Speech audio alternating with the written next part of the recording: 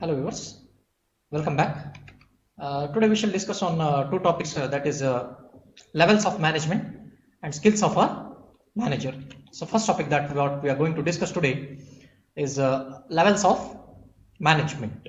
Now that we have know what is a management, what is the function of management, nature and characteristics, what are the roles that is to be played by managers, it is necessary for us to know what are the different levels of management that are present.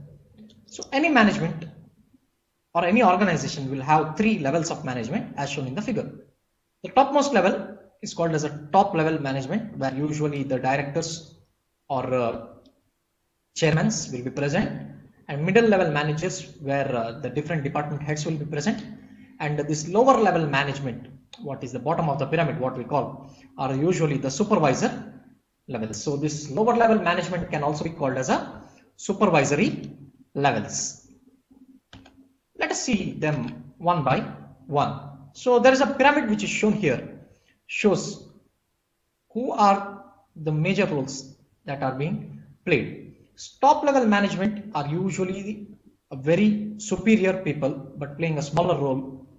They will not interact with the more people in the organization. They will be interacting only with the certain point of context who are their middle level managements. These middle level management will have to play a larger role and report the things continuously to the top level management. But these middle level managers cannot look after each and everything in the organization. So they will have supervisors under them who are responsible for different roles of a organization or different functions of a organization and these supervisors are called as supervisory level managers or lower level management. Let us see a brief functioning of these levels one by one.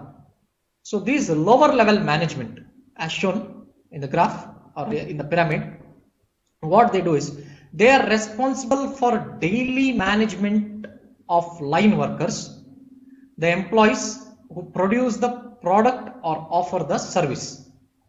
So these laymen's or uh, the production side engineers or uh, the production heads or diploma or IT people or ITI people who are there in the organization, this lower level management or the supervisor will look after these people who are doing the main part of the organization. That is, without this bottom of the pyramid, the organization will not work.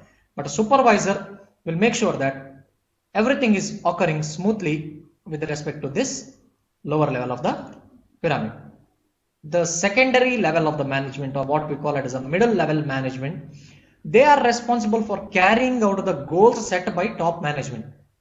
Top management will have certain requirements, certain objectives in their mind and they will inform these to this middle level management. They will set up departments with respect to the type of that is goal is to be achieved.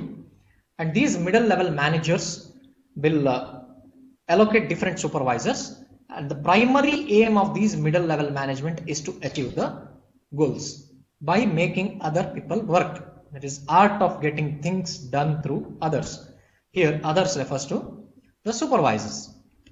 The top level of the management they make the decisions affecting the entirety of the firm.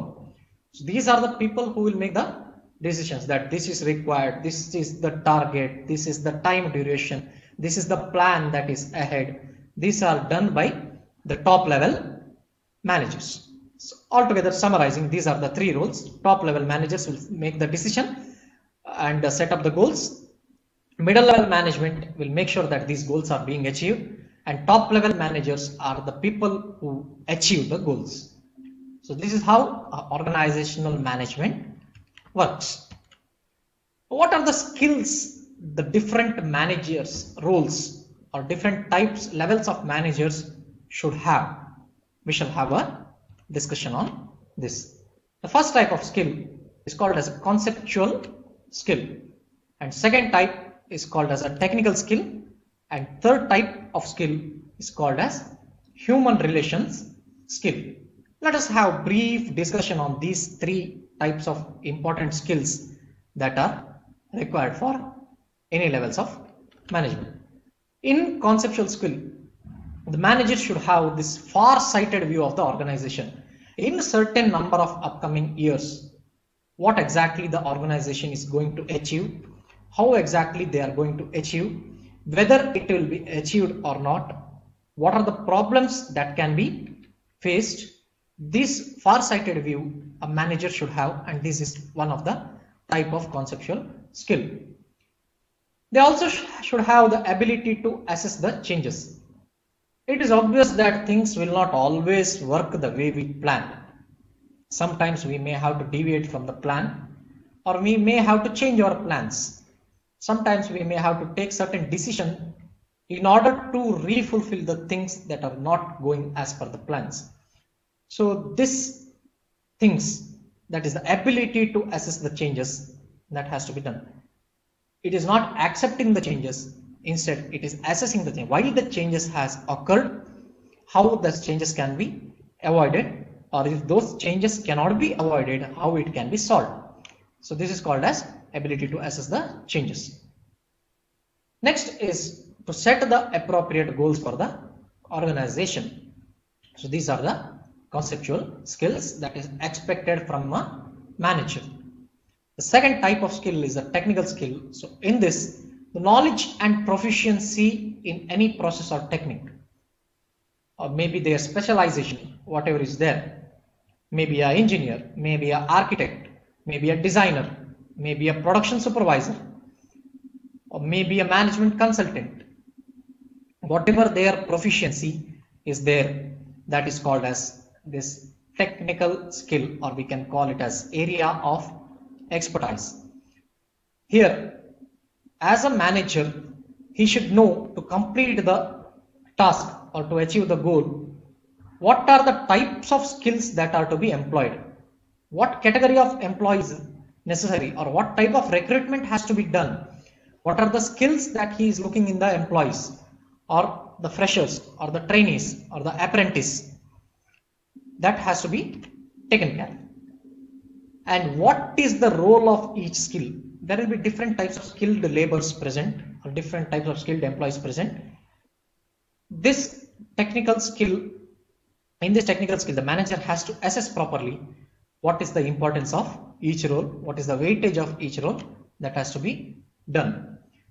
How are these different skills related to each other? Can they be interdisciplinary or whether one skill is related to other, whether this is going to affect the process, whether this is going to affect the production chain, whether there has to be harmony between the different type of skills that has to be taken care of in the role of this manager also evaluate the quantity of work that has turned out. It is not just that today this is the work to be done. At the day end that work is done. Now as a role of a manager in this technical skill what he has to do is he has to evaluate whether the work was done properly or not. So this assessment is very much necessary. All this will come under technical skill. Also, he has to train the new hands or teach them.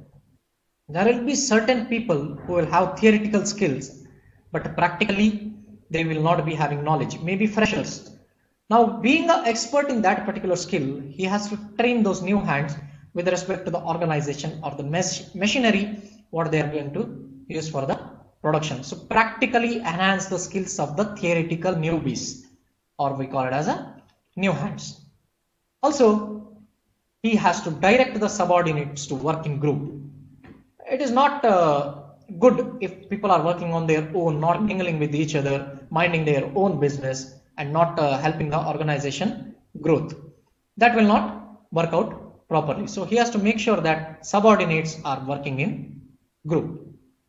The third type of skill is called as human resource skill. So there is a separate department nowadays with respect to this skill. We call it as a human resource department. What uh, the skill they are looking for is the sufficient ability to recognize the feelings and sentiments of the others. If a manager is ordering something to someone whether that person, how that person will take, whether he'll take it lightly, whether he'll take it seriously, whether his words are hurting the sentiments of the employee or uh, other subordinates, that has to be taken care. Also to judge the possible reactions and outcomes to the various course of action. Maybe tomorrow a manager is asking his employees to work overtime. He has to anticipate whether the employees will cooperate or whether they will negotiate or whether they will go for a strike. That has to be thought properly. And also examine his or her own concepts and well. As an employee to the organization, whether he is fulfilling or she is fulfilling his duty or not, whether he is sticking to the goals of the organization, that has to be assessed properly. Now these three types of skills depending on the different levels of management what are the weightages that is shown in the graph here there is a pictorial representation or infograph what is shown the top level management should have more of a conceptual skill and human skills and very less or nil technical skills because they are the people who will make the decisions the middle level of management who will make the organization to achieve its goal, these people should have conceptual, human as well as technical skills.